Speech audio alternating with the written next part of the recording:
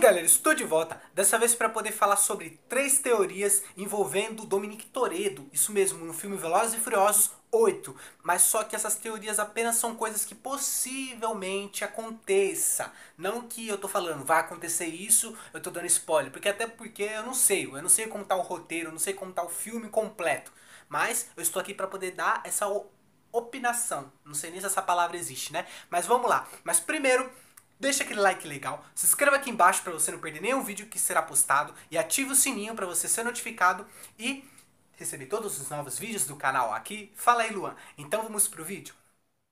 E a primeira teoria seria que Dominique Toredo tenha se revoltado contra toda a sua família de uma hora para outra, assim, sem motivo nenhum, sem nada. Ele foi lá, ficou bravão, ficou revoltado da vida, ficou louco da vida e falou assim: "Ah, quer saber? Agora eu vou passar pro lado oculto mesmo, vou passar pro lado do mal mesmo". Aí ele foi lá e agora é o vilão da história. Essa teoria que eu acabei de falar aqui agora, ela é bem furada mesmo eu acho meio difícil os roteiristas do Velozes e Furiosos ter colocado isso na história. Só que é uma teoria que também a gente pode analisar, porque às vezes as pessoas pensam assim que é um motivo tão drástico, mas só que vem um roteirista e coloca uma coisinha tão pequena, uma coisinha tão mera como essa.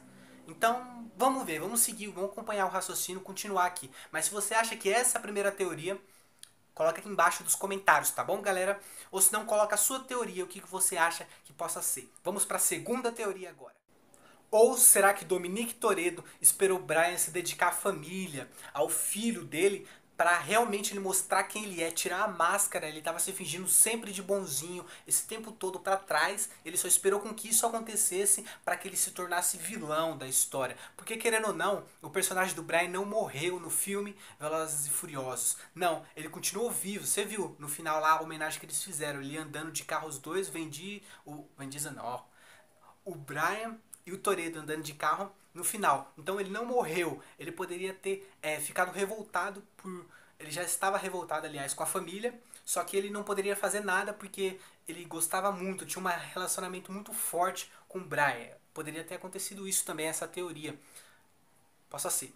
Então vamos agora para a terceira teoria. Possa ser que tenha acontecido aquela mulher que beijou Dominique Toredo no trailer, tenha feito chantagem, que, dizendo que iria matar a esposa dele, os amigos dele, se ele não voltasse para o lado dos vilões, se não voltasse para o lado deles, que eles queriam destruir a sua família Aí por isso que ao invés dele não ver, não querer ver isso acontecer, de todos morrerem, ou senão apenas a sua esposa morrer, ele pegou e acabou se voltando para ser vilão. Qual dessas três teorias você acha que possa ser que venha acontecer no filme Velozes e Furiosos 8?